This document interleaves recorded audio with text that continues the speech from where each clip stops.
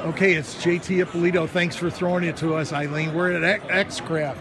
And if you remember them from what year was it on Shark Tank?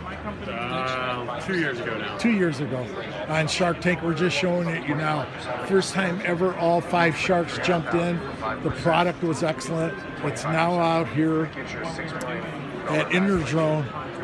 And remember when I worked with the sharks, I'm okay with that deal. I'll let you listen to it. That's three. Okay. Robert, then I'm in on that deal too. Mark, what are you doing? You guys are smart. Did anybody else offer you money prior to this? For sure. Okay. Yeah. And so when someone's come to you, what were the discussions? There's really two categories of conversations. One is strategic and one is kind of pseudo-institutional. A lot of the institutional guys want to kind of shape it like a early stage VC structure, not something we're as excited about doing.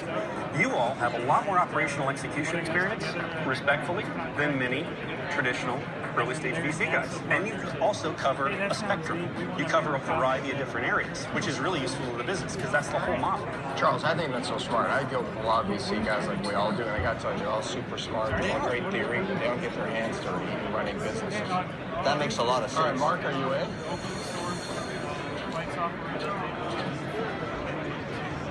That works. All right. Was an amazing deal with the Sharks where all five went in on it as a group deal. Um, Mr. Wonderful was great, Smart. Thank you guys. greatly interested for surveying some land that he had. So I just want to back out and show you what the actual aircraft looks like. It's greater than what we asked. We got more money than what we asked for, three times as much. And we got all five sharks on board. Nice job, fellow sharks. Cool, we're in the drone business. That is cool. I think this is a company that you're going to be hearing a lot of, especially because if you saw any of the demos of their aircraft, Mostly excited about this. Okay. Do you have something to propose? it was unique in everything it did, the way it flew, Vertical Uh, takeoff. vertical takeoff. Thank you. All of a sudden, I missed it. So Riley was kind enough to tell us about it, and again, here it is. Again, outstanding product. You're going to see more of it, but I wanted to bring it to you here first. Thanks. Appreciate it, Riley. Yep, Good luck you. to you. Yep. I'll send it back to you in the studio, Eileen.